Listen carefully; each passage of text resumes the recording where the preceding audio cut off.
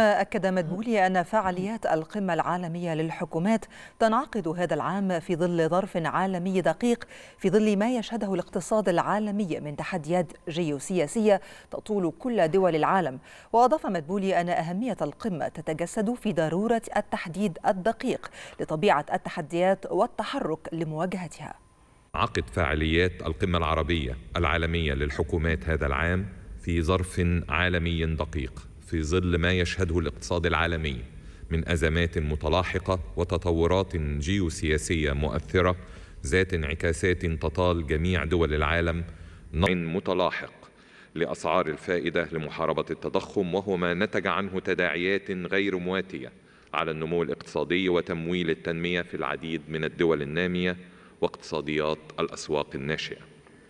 الحضور الكريم في ظل هذا الظرف الدقيق تتجسد أهمية القمة العالمية للحكومات والتي تنعقد هذا العام تحت شعار استشراف حكومات المستقبل بهدف التحديد الدقيق لطبيعة التحديات التي تواجه حكومات اليوم والتفكير الملهم في آليات مواجهة تلك التحديات ومن ثم التحرك نحو دور أعمق وأشمل وأكثر كفاءة لحكومات المستقبل.